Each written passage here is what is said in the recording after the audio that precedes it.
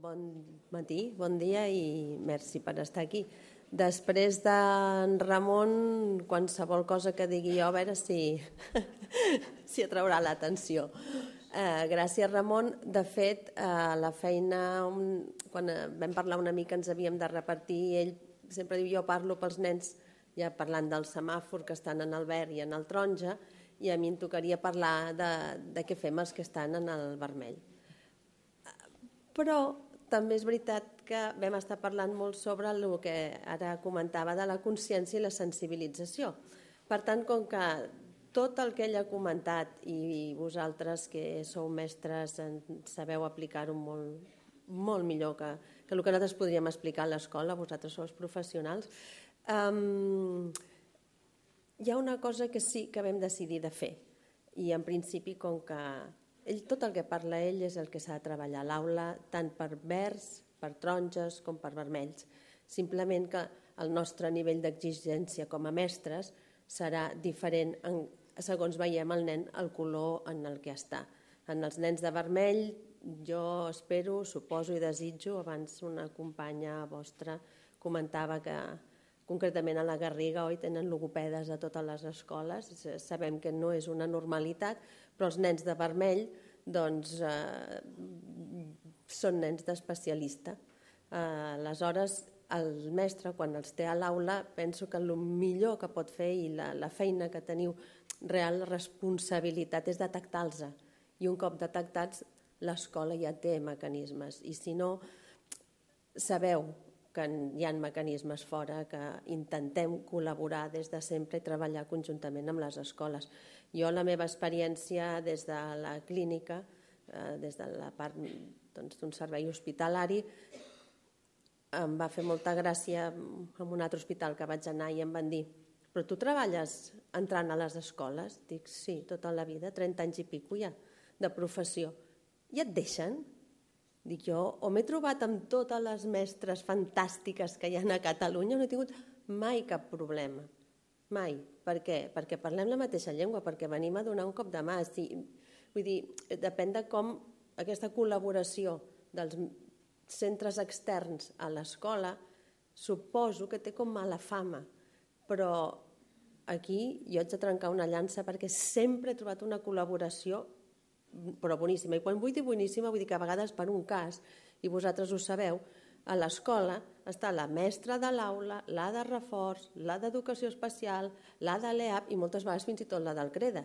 I he anat a reunions on hi havia sis especialistes del Departament d'Ensenyament i jo, vull dir, més predisposició que la que poseu vosaltres no la posa ningú. Per tant, eh, pel que m'hi respecta, des de fora de l'escola, que sempre he treballat en coordinació amb l'escola, eh, com deia el Ramon, la meva admiració. I només dius a dos coses que eh, jo vull fer-vos una demostració, perquè tot el que ha explicat el Ramon, com diu també, hem fet un PowerPoint, no patiu, no, no, no noteu res, que us passarem el PowerPoint, el que jo porto fet. Um, ah, mira que bé, ja surto aquí. El PowerPoint hi és i sobretot, mireu, Um, la idea de la paraula, ja he començat parlant de la paraula. La paraula en realitat, i ja ho he explicat molt bé què és, és el so. No és res més que aire en moviment. Aire que ens entra per les orelles i aire que un cop processat aquí dintre amb les neurones, les xarxes, les dendrites i tot això que molt bé sap la neurociència, torna a passar aquest aire per les cordes vocals i surt produint so. Per tant, l'aire entra per les orelles quan sentim i l'aire surt. Això que pràcticament és física, és física, es podria explicar en física, no ho veiem mai des de l'escola en aquest sentit. Jo us volia apropar una mica a la dificultat de coordinació de milions de coses que vol dir el fet de parlar. Eh, queda molt reduït el canal d'entrada, el canal de processament i canal de sortida, però a vegades aquestes um, idees bàsiques són amb les que ens hem de quedar. La neurociència, i ara penso que s'ha fet un pas més enllà parlant de la neuroeducació, ja veureu que ara tothom comença a parlar dels neuroeducadors, i la, eh? bueno, sí que és veritat que una mica l'educació i la ciència estaven cada un pel seu costat i ara vivim una època molt bonica perquè sembla que les coses coincideixen i mm, expliquen, com deia el Ramon, no? coses que ja deien les àvies, ara la neurociència diu no, no, és que eren així. Mireu, si és veritat que venim els, els eh, bebès, els humans, venim preparats per una sola cosa en aquesta vida, ja programats, respecte al llenguatge, eh? respecte a totes les altres en venim a moltes més. Eh, I és a la veu humana, la veu de la mare, sigui mare, pare, eh? permeteu-me parlar en principi de mare, primera perquè totes som dones i segon, bueno, quasi totes, perdona, Ramon i algú més si detecteu l'error, com deia ella abans, equivocar-se a l'aula i fer veure que t'equivoques i t'emboliques, als nens els agrada molt, eh? i manté l'alerta aquesta de dir «Ei, la senyoreta s'ha equivocat». bueno, doncs, si m'equivoco, si erro, penseu que ho faig expressament per mantenir la vostra atenció. Aleshores, aleshores venim preparats per la veu, per la veu, no per la lectoescritura, eh? La lectoescritura és una cosa presa per la veu. I la veu, la veu de la mare, del pare, la veu la utilitzem en realitat poc. Potser també perquè hem passat una etapa molt de eh, la música, les cançons... A veure, fantàstic la música, la música és com, com l'oli dels cotxes, saps? Allò que fa funcionar totes les peces del cervell, pues això és la música. Però la veu, la nostra veu, l'hem de cuidar, sobretot vosaltres, que la utilitzeu molt perquè és l'eina més preuada que té l'ésser humà per transmetre eh, el llenguatge i la parla. Tots aquests sons, embarbussaments, tot això, venen en musiqueta, venen en ritme, que ajuda, doncs, com deia, no sé, aquest oli que ajuda a que això es fixi, però ho fem, fixeu que tot el que ha explicat el Ramon es fa amb la veu. Bueno, també podem fer alguna picant amb les mans, però bàsicament ho fem amb la veu. Aleshores, primer i molt important, si la, l'administració el que hauria de fer és vamos, cuidar-vos a la veu fins aquí dalt, perquè al, al màxim. Ja sé que és malaltia, està reconegut com a malaltia al treball, etc etc, però penso que la, la veu que teniu vosaltres és l'eina de totes les que hi ha a l'aula més important que teniu. A la segona, a les làmines del termòmetre lingüístic. Uh, perquè parlem. Uh, volia a dos coses que, abans de fer les proves, que heu estat sentint per aquí. Uh, el termòmetre lingüístic que us han explicat no us ha de fer por de passar-lo. Uh, les mestres avalueu cada dia. Cada, bueno, cada dia potser no, però cada tres mesos les notes. Sabeu fer això de, de, de valorar, d'avaluar i de posar no dubteu, és igual. A mi em sembla que està en el verd o en el groc, ara no ho sé, eh? potser està en el vermell. Dues coses, poseu-lo on te'l poseu, li anirà bé, perquè si està en el vermell, segur que us fixareu més i, i, i no hauria d'estar-hi, no li farà cap mal. És a dir, per, no us podeu equivocar en la valoració del termòmetre, perquè estigui on estigui, com que el que fareu serà treballar tot això que ha dit el Ramon, millorarà no tan sols un, sinó tots. Per tant, sense por, doncs a mi em sembla que és el, el taronja, doncs el taronja. A mi em sembla que és el vermell, el vermell. Amb 30 anys de professió, ja vaig dir-ho l'altre dia, quan una mestra ha dit aquest nen no ho veig clar, jo posat, o sigui, no he vist mai un error de dir pues és, no, no tenia raó la mestra. No, no. Quan una mestra, que en veieu 25 o 26 o 28 a les illes, diu aquest nen no el veig clar, és que no està clar. Aleshores, sobretot confieu en el vostre seny, perquè jo no sé si algú ja ho ha dit, però el seny jo crec que és la barreja i la suma de tres coses, el coneixement, el sentit comú i l'experiència. I em sembla que totes les que esteu aquí teniu aquests tres prou i sobrat. Aleshores jo només volia fer-vos un joc, perquè eh, no sé quantes de vosaltres, jo suposo que moltes, sabeu que això és un audiograma. Un audiograma és quan els nens els enviem eh, a fer una audiometria, eh, les proves aquestes que ens posen en el casco, les, val? en un ambient eh, normalment insonoritzat. Eh, només fixeu-vos que és molt curiós perquè els fonemes dels que estem parlant tota l'estona eh, es donen en una zona, això són freqüències, intensitats, en una zona i d'una forma que, ja em direu a mi, graciosa, això té forma de boca. També és curiós que els sons es donguin en una curva que té forma de boca. N'hi han molts de molt propers i a vegades mm, allò vol dir dèficit auditiu lleuger, dèficit auditiu mitjà, dèficit auditiu sever i dèficit auditiu profund. Ara us ensenyaré això. Ho dic perquè si alguna, envieu algun nen a fer una audiometria, eh, l'audiometria que us portin, la poseu a sobre d'aquí i, més o menys sabreu quines són aquells fonemes que li costen. Per tant, com que ho tindreu en el PowerPoint, ja teniu posades els sons.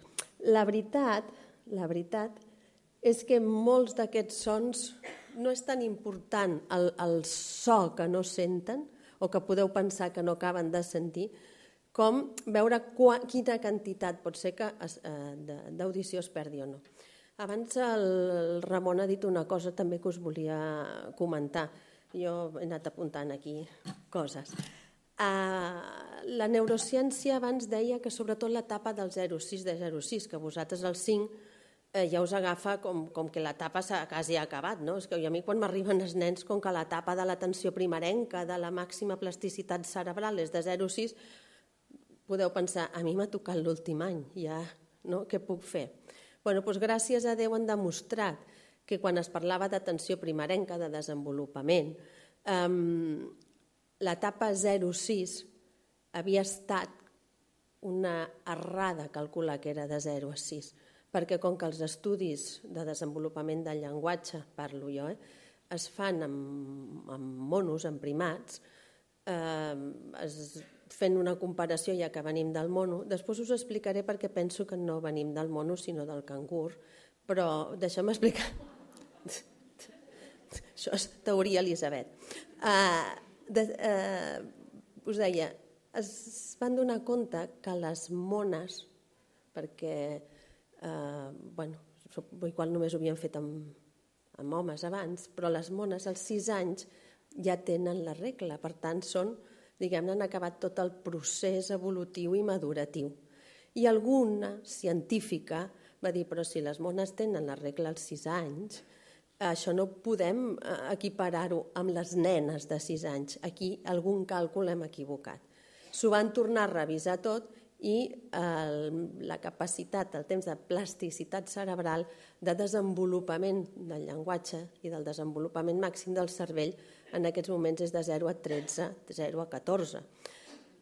I això és ciència, eh? no, no, sembla una anècdota però és ciència. Per tant, els nens que teniu a 5 anys estan quasi bé just en el mig d'aquest desenvolupament. D'aquí la importància també doncs, de la vostra feina. Per què dic que venim dels cangurs? Um, un, un bebè el portem nou mesos, està nou mesos de gestació al, al, a la panxa de la mare, però erròniament també s'ha cregut que quan neix ja neix. Ja neix, ja està, i el que més és eh, l'aprenentatge, el desenvolupament, aquesta plasticitat cerebral la concepció l'hem d'anar canviant una, una miqueta, no, perquè no fem com els monos que ja, doncs, jo que sé, neixen i anem als ombros de la mare i ja pugem pels arbres. No, no, els nostres nens fins a l'any no caminen, no són vaques ni cavalls, no neixen ni es posen. No som d'aquesta classe de mamífers. Nosaltres, els nostres nens, neixen en nou mesos, o sigui, es fan nou mesos dintre de la mare, però comencem, hem de començar a tenir al cap que es continuen fent quasi bé 12 mesos fora. Això amb els bebitos. Per què? Perquè tot el que és aprendre a menjar, a respirar i, evidentment, més tard a parlar, però fins i tot la, la part eh, psicomotriu, la part motriu, no és fins més enllà dels 12.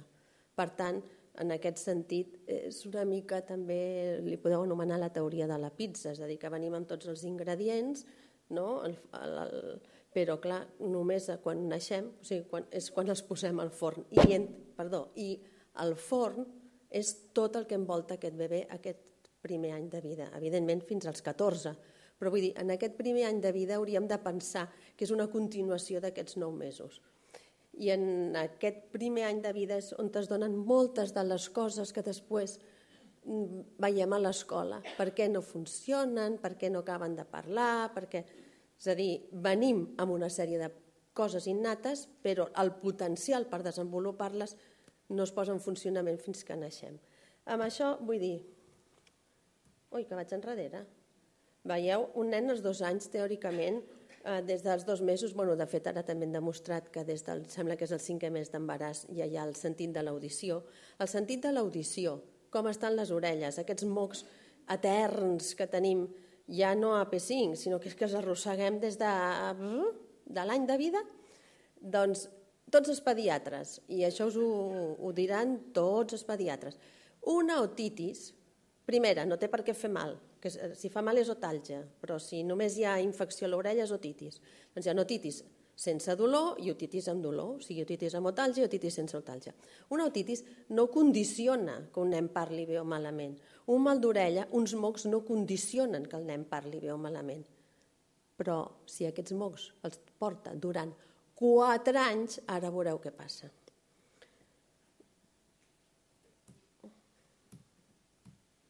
Sabeu què passa també? Llavors, ja veuràs. Que, ah, aquí. Tinc la sort, clar, treballo a la clínica i mm, doncs veig molts casos de, de nens amb malalties neurològiques i amb sordeses de que em van deixar aquest programa. Mireu, això és l'audiograma que veiem abans, però eh, ara el podrem sentir. Això és una audició normal. Una audició normal i us la vaig a posar en veu, per exemple. ¿Saben? Oh, abuelo, nada para mí, gracias. Ya sabes que estoy a dieta. ¿Qué? Si solo eres piel y... Com és un exemple, un agafat d'un tros d'una pel·lícula, eh, que és el de mostra. Això és l'audició normal, tots ho sentim perfecte. Si ara aquest mateix tros jo ara us el seguiré posant, però aniré baixant i ho veureu en allà al nivell d'audició. ¿Huesos?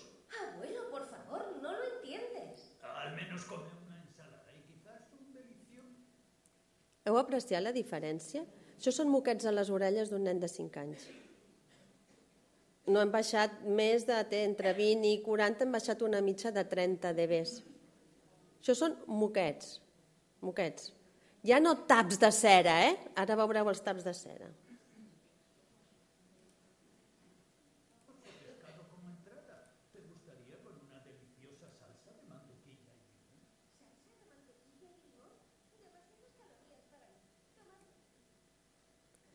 Això en un ambient que estem tots callats i escoltant només veu, que és pel que ja venim genèticament preparats. Si hi ha el soroll de l'aula, si hi ha el soroll de l'aula del costat, si hi ha altres nens que parlen, si... Bueno, l'última de les eh, coses en audició que han descobert és que fer una audiometria així al buit en una càmera insonoritzada no dona una visió real de lo que és una audiometria. Bueno, lògic, no? Perquè aleshores tots ho sabíem, però bueno, i tons purs, no sentim tons purs. En la, ip, ip, els pitos són tons purs, tampoc és... Aleshores es veu que el, el més difícil d'entendre és quan dos parlen alhora. bueno, això, a vosaltres que us en parlen 25, no? Que la ciència us ho expliqui. Són obvietats.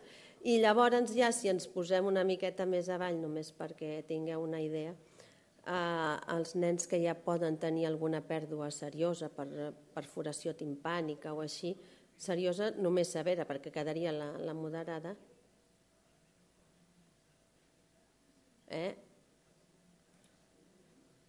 A diferència d'això. Ho veieu? ¿Salsa de mantequilla y limón? N'hi ha un, només a veure si, perquè tingueu idea, amb ambient sorollós. Comer,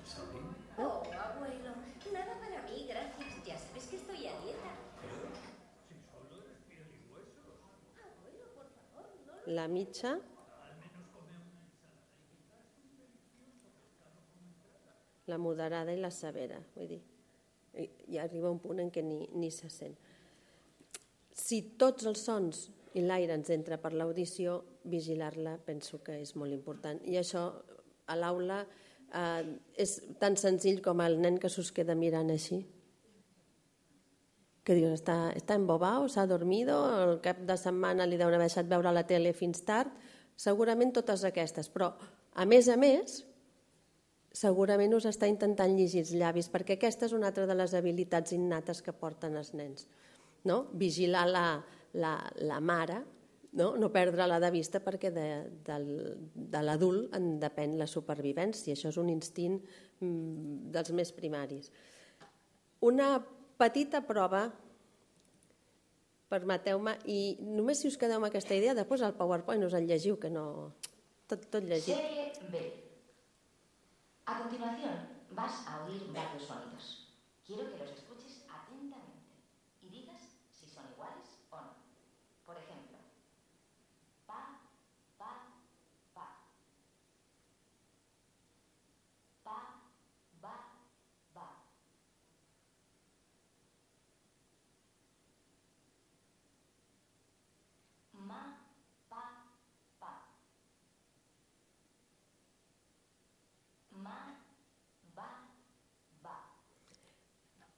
Són tires, ja ho veieu, de dos i dos, i s'ha de dir si són iguales o diferents.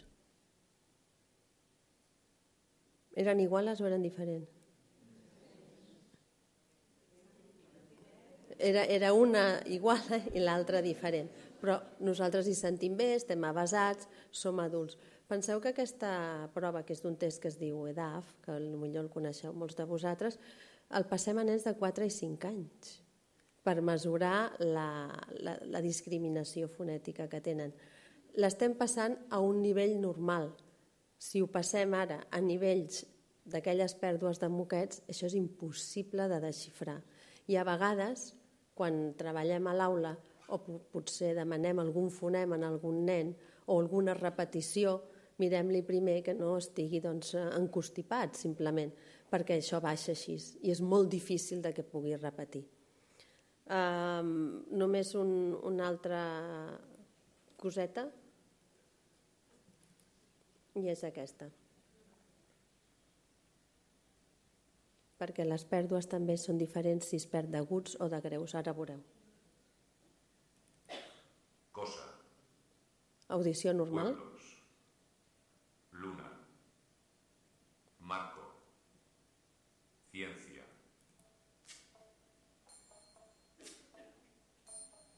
una música amb pèrdua de greus.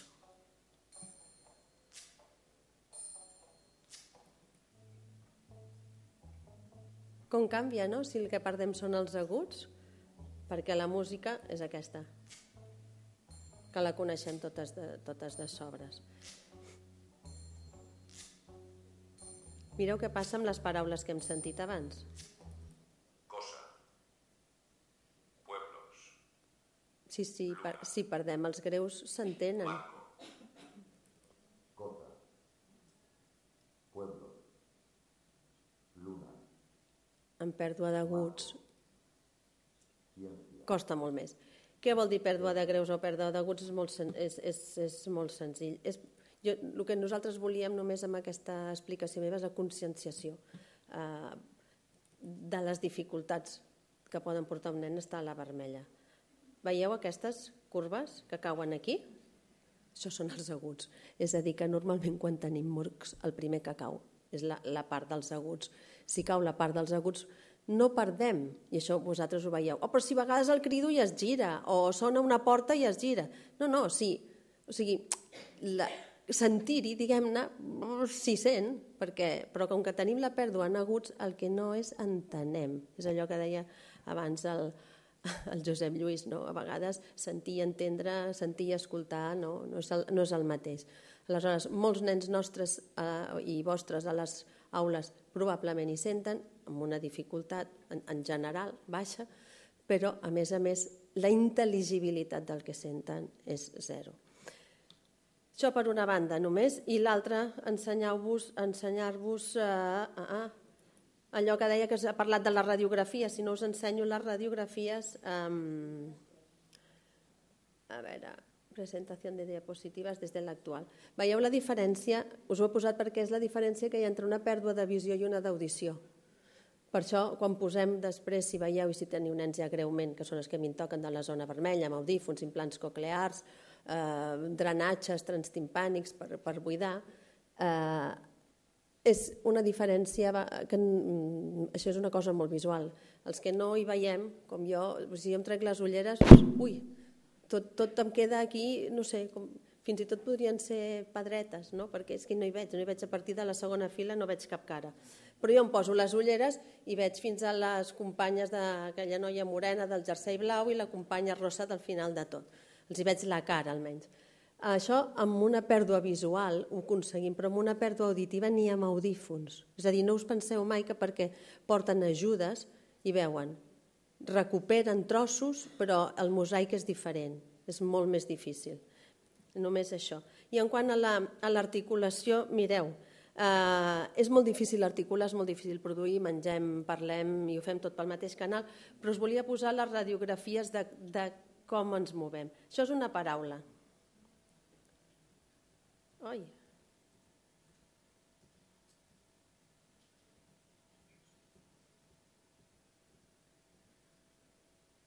Ho passo una mica ràpid perquè veia tots els moviments, perquè normalment veiem els nens per fora, però no els veiem per dintre. Això és una D, que ja, ara ja ha sortit, ja està aquí. Aquesta podríem mirar d'endevinar-la encara que ja l'heu vista. Us atreviu algú? Una mica més endarrere de la D tenim la... No. La R, de, de, de, de, una mica més enrere. Bé, aquesta venga, ja sap tothom, la A, eh? és una vocal ben oberta, a la llengua ben avall, i, eh? i la K. Per tant, per dir una cosa com el drac de Sant Jordi, ja en el que deia de la tirafònica, però imagina't, drac és... I això, aquí tindríem... Qui s'atreveix a dir-me quina és aquesta? Sí? Sense por, la ella.